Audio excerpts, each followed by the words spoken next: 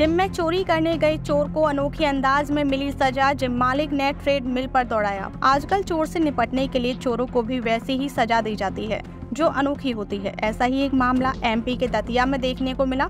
मध्य प्रदेश के दतिया शहर में एक चोर को एक अनोखे अंदाज में सजा दी गई।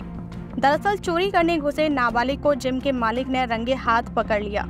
उसके बाद उसे काफ़ी देर तक ट्रेड मिल पर दौड़ाया। बता दें कि जिम के मालिक ने चोर को ट्रेड मिल पर दौड़ाया ही इसलिए था ताकि उसकी सजा दे सके। क्योंकि दौड़ते दौड़ते चोर काफ़ी थक गया और बुरी तरह हाँपने लगा, तब मालिक ने चोर को मशीन से नीचे उतारा और पुलिस के हवाले कर दिया। घटना के संबंध में बताया गया कि जिम में चोरी के उद्देश्य से घुसे नाबालिग चोर को जिम के मालिक ने ऑनलाइन सीसीटीवी कैमरे में देख लिया था।